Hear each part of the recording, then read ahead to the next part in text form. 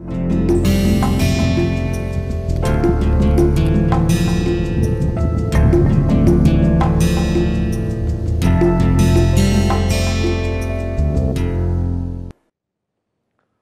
we are absolutely in the last part of the course and we are talking about multiple integrals and for this you need a maturity level which many people in this varied audience might not have.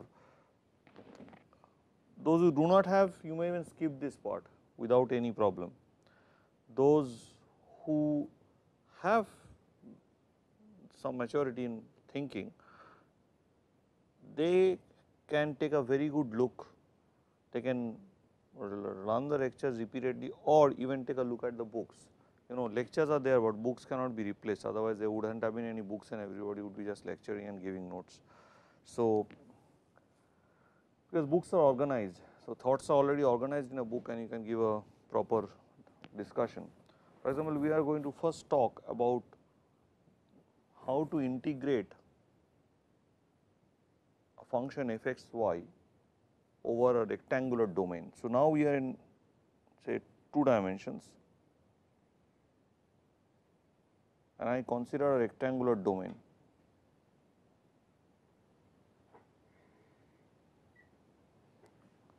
So, here is my A, here is my B, here is my C and here is my D. So, the rectangular domain D, this one consists of all x y where x lies between B and A and uh, y lies between C and D. So, this is my domain and I want to ask the question what is the meaning of this integral? Can I oh, if I write a symbol like this where f x y is a function of x y. So, z equal to f x y and dA is a elemental area which you can write as dx dy also dx into dy. You have an elemental area taken out of the given domain D. So, what we do is you basically divide the domain into rectangular grids.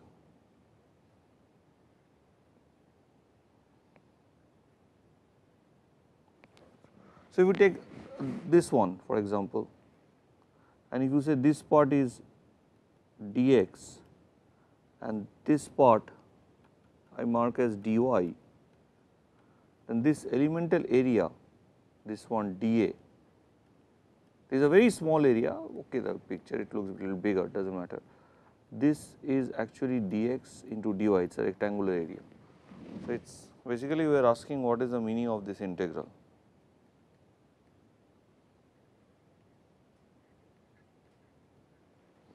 Essentially what it means that given any such grid, a grid is just like a partitioning that we have done on Riemann when we studied Riemann integral, integrals. We partition the line here we are partitioning the domain. When we partition the domain what we do is the following we construct the following things. So, you take a, say say the midpoint of every domain you take as a as a reference point and then you construct these sums So, at the kth domain and del ak is the area of the kth domain. Basically you do it for each and every one of them then you start making the partition finer means you are taking the domains with smaller and rectangles of smaller and smaller area. So, if you take the limit of the area Sn as n tends to infinity, when n tends to infinity because, because that means the number of your partitions, number of your rectangles here becomes very large as a result of which you, you have more and more uh, each sum is a bigger sum basically, meaning you have more terms in that sum. So, the, you want to compute this and suppose these are the finite value say L and then this, this finite value is assumed now written as is defined to be the integral or double integral of f x y over the elemental area dA. You can also write this as in terms of the limit.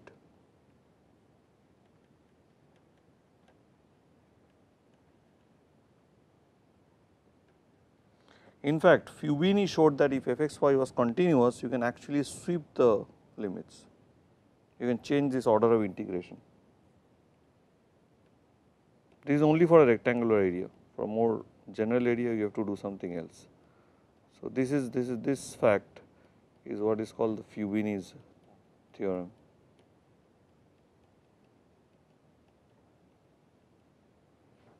Now, what does this uh, tell me? What does this double integral tells me? It tells me that just like you find an area under a curve, under a surface f x y, z equal to f x y represents the surface, the graph is a surface. Essentially when you are integrating over a rectangular zone, you are finding the volume, the solid that can be placed under that particular area. So, this is my domain D and suppose this is my surface S, then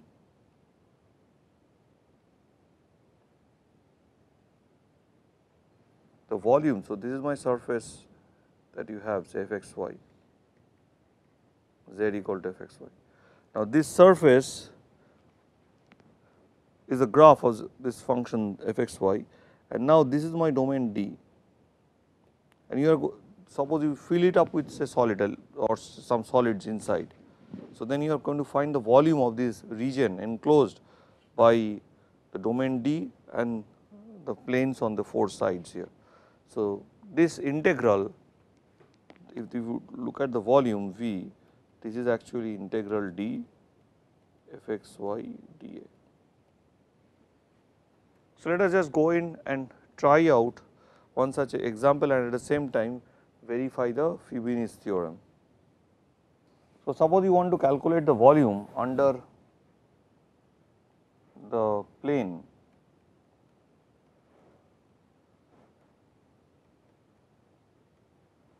equation of a plane in 3 dimension is given as x plus y plus z plus constant equal to 0. So, this defines a plane. Now, I want to find the volume under the plane. So, what should one do? So, here is this uh, thing something like this and the domain that is given to you is the following rectangular region.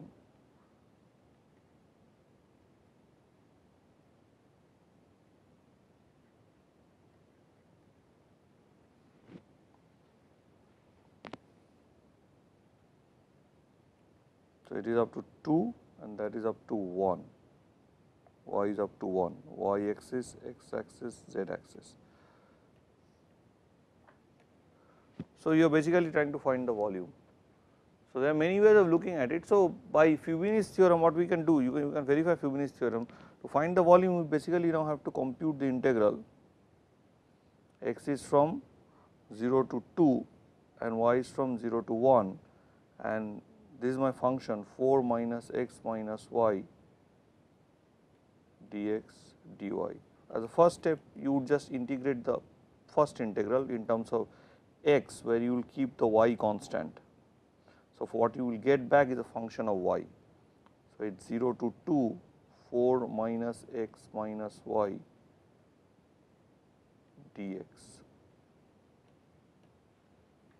and that will give you so what will this give you so it will give you 4 x minus uh, here I will get x square by 2 and here I will get minus y x and this has to be put within 0 to 2 dy. So, if I put it within 0 to 2 dy it is simply going to give me the following function is going to give me if I put 2 here 8 minus 2 square is 4 8 8 minus 4 uh, minus 2 y. So, it is uh, 6 minus 2 y right. So, now I have calculated the this integral and then I will get this one. So, what I will do now I will just now have to do this. So, it will become 6 y minus y square 0 to 1 and you know that this is this will give the answer 5. So, you can check it up in the other way also you can try it in the other way you can do 0 to 2, 0 to 1, 4 minus x minus y dy dx. So, you first integrate with respect to y holding x constant and you will get a function of x then integrate with respect to x. You can verify that the answer would again be 5. So, this is a, a very basic idea which come and these two are same. So, it also verifies the Fubini's theorem. There is some more general thing in the Fubini's setup is that sometimes you know this y does not vary between a fixed number, it is not a rectangular one. So, y, y varies between two functional values of x that is okay you have x varying between a to b and y varying between the values of two functions g1 and g2 which are continuous. So, g1 and g2 are continuous functions. In that case how would you really what is your so the my my domain now is this my rectangular region or domain is this. So, then then in that case what is the meaning of this integral how do you compute it. So, it will be because now x is fixed keep that as the outer one do the functional calculations because y is in now terms of functions of x. So, you have to do put y as the inner calculation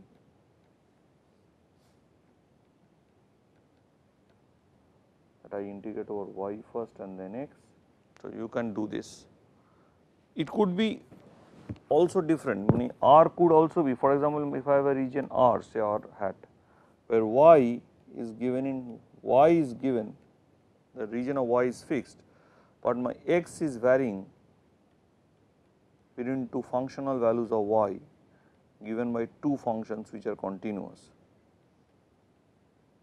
This result is also due to Fubini and this Fubini was the Italian mathematician and he gave these results in 1907. It is a very pretty old game as you see. So, now your y should come outside because that is the outer variable which is fixed and now this would remain because ultimately you have to get a function of y to integrate over y and here I integrate over x first and then y. So, this is what will happen if I take a, but sometimes but you you know it is not so easily that you can swap swap the things it is not so easy things can become slightly difficult. So, I will just show some examples of this and we will try to go to some other thing. So, basically I am supposed to find a volume of a prism basically I am having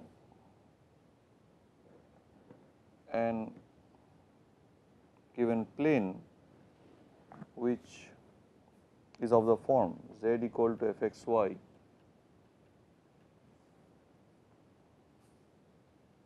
equal to 3 minus x minus y.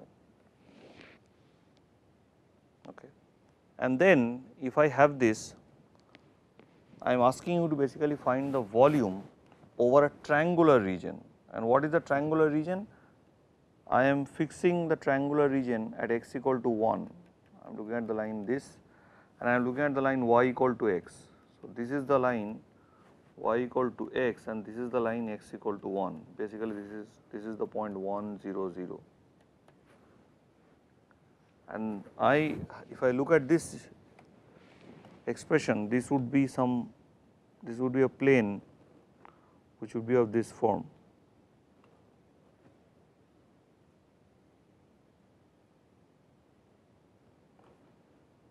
it will come down here and meet. Basically then I have to find the volume under this. Of course here I have to be have to be slightly more maybe the plane won't meet like this plane would be slightly more sharper.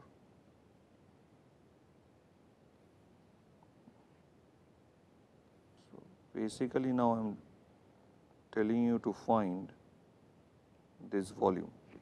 So this is a prism now.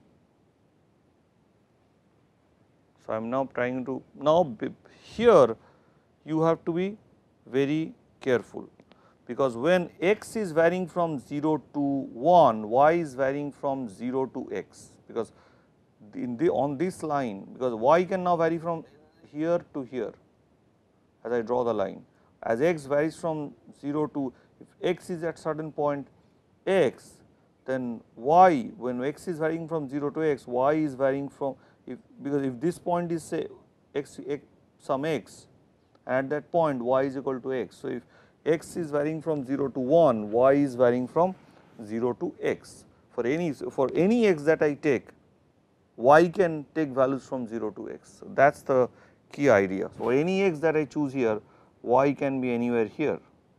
So, I have to swap off this part of the domain also. So, basically now my integral would look like 0 to x. So, these are my x functions and here this is x is from 0 to 1. So, here I will have 3 minus x minus y and we shall first integrate over y and then I will integrate over x and if you finally calculate in the same way this is 0 to 1 this will become if you do it. So, 3 y minus x y minus y square by 2 here you put 0 and x. So, when you put 0 everything will be 0. So, this will become 0 to 1 3 x minus x s x s square minus x s square by 2 that dx. So, 0 to 1 3 x minus 3 x square by 2 and if you calculate out the answer turns out to be 1. I am giving this example from Thomas and Finney just for your illustration the book by Thomas's calculus for illustration. Now, you also have to understand that there are certain cases you can in this case you can revert back because you see when uh, if I now vary if I if I reverse the region of integration and if I say that okay now if I look at this triangular area so how did we get the region of integration? So the region of integration is obtained in this way that when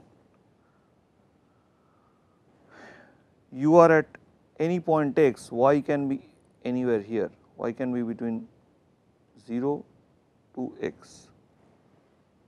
Now, if I am now varying I can do a different sort of variation the variation can be of this form.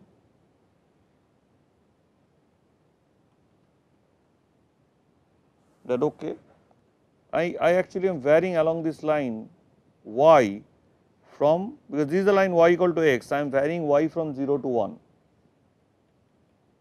this is the domain but I am varying y from 0 to 1.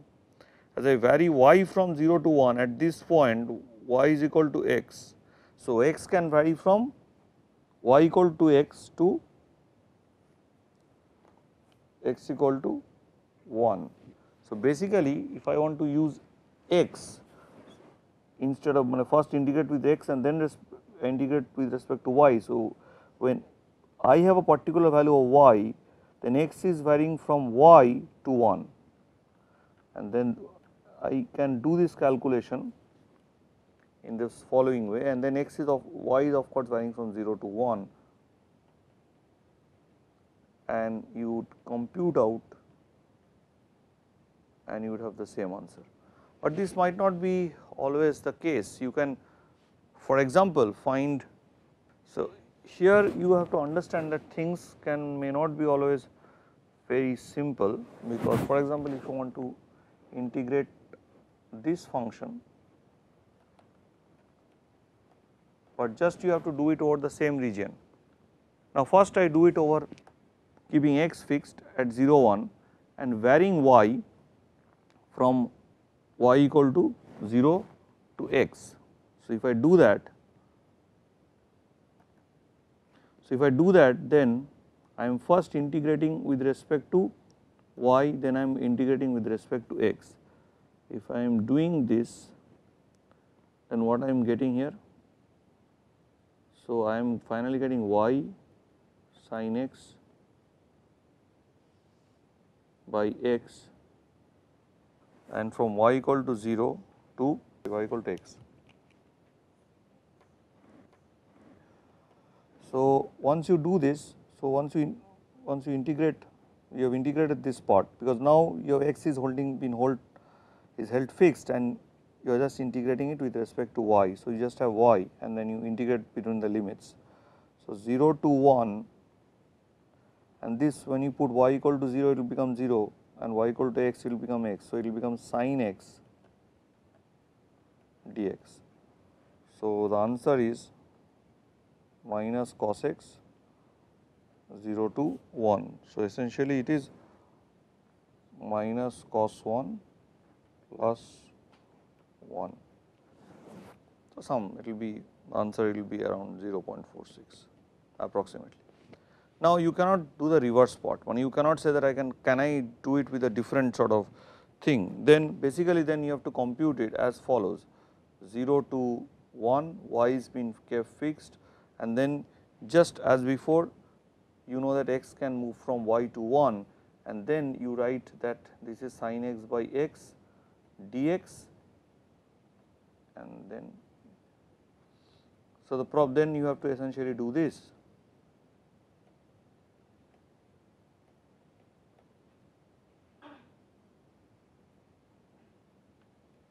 The problem is that you cannot calculate this and get this answer because this sin x by x does not have an antiderivative. So, every time uh, that you will be able to get this form back is not always true. So, for that you essentially need an antiderivative of the function, but what Fubini's theorem says that it is continuous in the given region, uh, we have to really figure out whether this function is a continuous in the given region. Actually, the problem would be coming at 0. So, you ca cannot cannot really say that because y can take the value 0 also. So, in whether it is continuous and then x, x can take the value from 0 to 1. So, basically because of that because of non continuity you are uh, being able to unable to handle this situation while here you, you are lucky because you are first doing it with respect to y. So, this is one uh, of the cases where things can just go bad. So, with this we stop here and the next thing we will essentially give a very brief idea of what is a volume integral and then uh, we would immediately go over to what are vector fields and other issues. So, we can end with our end our discussion with a very important result called Gauss divergence theorem because Gauss divergence theorem is central to many many things. For example, those who are from physics and electrical engineering Gauss divergence theorem is fundamental to their existence. So, let us end it here and we will come back to the next class very soon. Thank you very much.